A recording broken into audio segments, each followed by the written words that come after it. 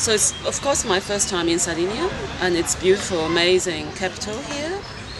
I wish we could stay longer so I can understand the landscape and the people much more.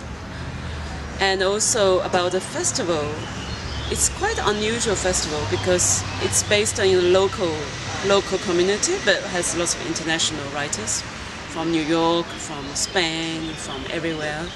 Um, it's very interesting, you know, for for people from other side, from other world, to meet the locals. And I think it's very important to continue this festival.